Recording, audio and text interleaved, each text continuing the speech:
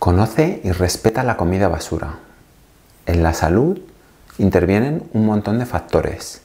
Por eso tampoco hay que volverse loco. Te voy a explicar qué efecto tiene esa comida en tu organismo, sobre todo a nivel mental, ya que afecta tu toma de decisiones y tu fuerza de voluntad al alimentarte. ¿En qué se basa la industria o la comida basura? Pues se basa en tres componentes principales, la sal, la grasa y el azúcar los tres más o menos por igual. Y vamos a ver en detalle qué pasa con cada uno de ellos. Pero el tema está en que uno de los trucos es eso, tener más información sobre los productos principales que están en el supermercado, en casi todos los productos, te ayudan a ser más consciente de por qué no tienes que comerlos. Ya sabemos que estos productos no son muy buenos, pero ¿cómo nos afectan a nivel mental? Pues aquí es lo que te quiero explicar. Nuestro cuerpo es tonto, es más tonto de lo que tú crees y solo piensa en sobrevivir. Y para él sobrevivir se basa en tres, en tres cosas, que es, se asusta, con lo cual solo quiere o huir o luchar, quiere alimentarse y quiere reproducirse o aparearse. Con lo cual esas son las tres cosas que tu cuerpo está pensando continuamente, tu organismo, en sobrevivir. ¿Y aquí cómo entra la alimentación? Pues que la alimentación nos da energía, nos da energías para luchar o huir o nos da energía para aparearnos. Y claro, lo que comemos nos afecta a estas tres cosas. ¿Qué pasa? Vamos, empecemos con el azúcar. El azúcar es una fuente de energía muy alta, además entra a tu cuerpo muy rápidamente. Tu cerebro la quiere, porque en la naturaleza las cosas que son muy dulces y que tienen energía rápida no las conoce. Entonces, eso hace que tenga energía disponible muy rápidamente para salir, correr, luchar, aparearme o lo que quiera. Por eso tu cerebro está enganchado al azúcar. ¿Qué problema tiene el azúcar? Que si es así, azúcar simple o carbohidratos simples entra en tu sangre muy rápidamente y entonces la tienes disponible para usarla. Pero ¿qué pasa? Si no la utilizas, tu cuerpo no sabe qué hacer con ella. Entonces intenta moverla, moverla, sacarla de, de la sangre. Y se pasa de frenada y al final te quedas sin glucosa en sangre, sin azúcar en sangre. Y entonces le entra lo contrario, se asusta y dice, no tengo energía. Y manda una señal al cerebro para decirle que que se está quedando sin energía. Realmente no es, no es del todo real, pero eso es lo que se llama el pico de insulina que generamos.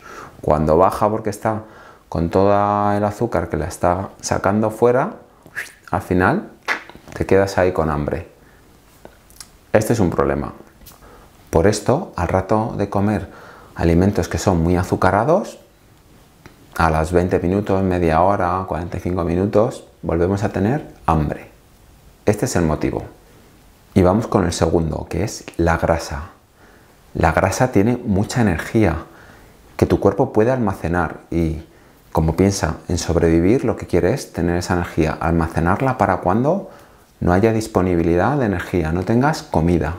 Ahora mismo tenemos comida en todos los lugares, pero hace 200 años, hace 2000 años, no era tan fácil encontrar comida y tu cuerpo lo que quiere es tener energía y almacenarla para usarla cuando la necesite. Por eso la grasa nos encanta, porque tiene una energía que podemos almacenar y que tu cuerpo va a decir, con esto voy a sobrevivir, sí. ¿Cuál es uno de los problemas? Que hay muchos tipos de grasa o de aceites. Hay algunos que son buenos y otros que son malos. Y, el problema es que nuestro cuerpo no es capaz de identificarlos muy bien, simplemente los va transportando y usa la que tiene. Por lo que si tú consumes grasas buenas, tu cuerpo va a funcionar mejor, tu cerebro va a funcionar mejor, ya que más de la mitad de la energía la coge de la grasa.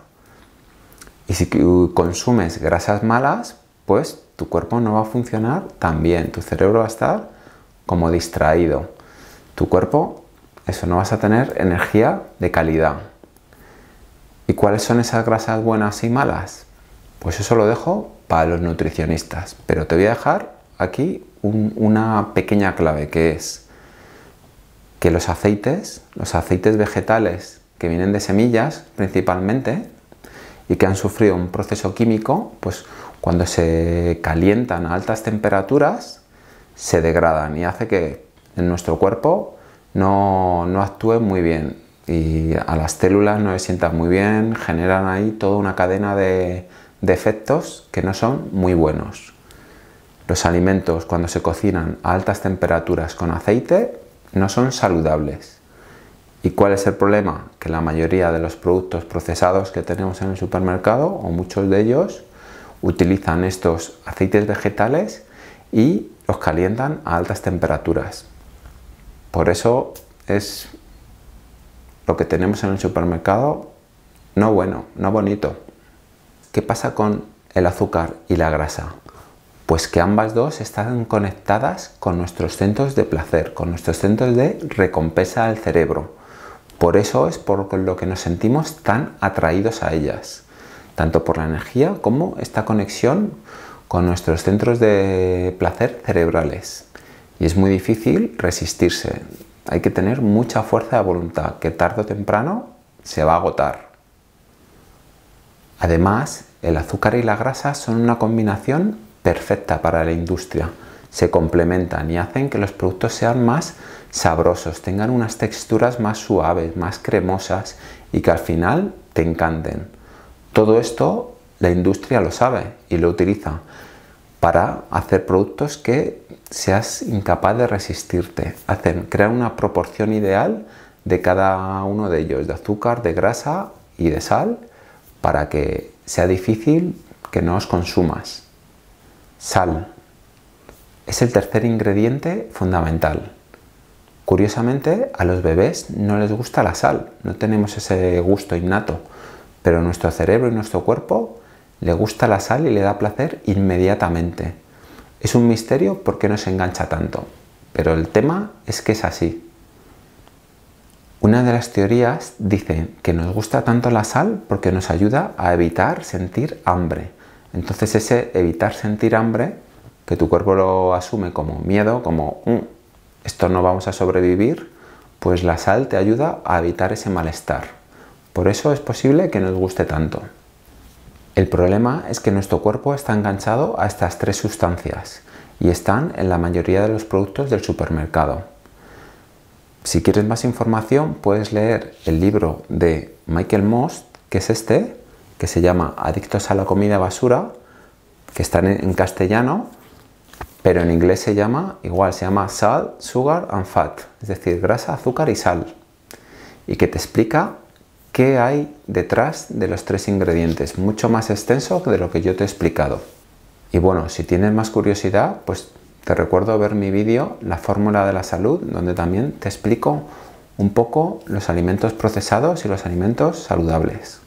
Y si tienes algún problema con tu alimentación, recuerda apuntarte a mi plan de coaching nutricional. Así que te espero. Contáctame y aquí estoy para ayudarte. Espero que os haya gustado este vídeo y nos vemos en los siguientes. Respeta la comida basura.